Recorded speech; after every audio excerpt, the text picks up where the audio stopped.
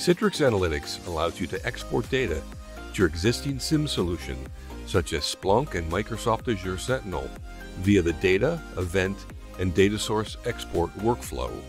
With the Citrix Analytics Data Export, you have a better correlation of the Citrix Analytics data with the organization's network, server, endpoint, and other telemetry data collected.